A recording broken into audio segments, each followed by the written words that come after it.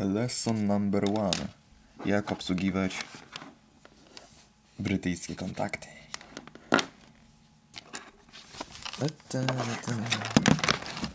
Mianowicie, wsadzamy długopisa w dziurę i jednocześnie eh, tu pchamy. I jest gites.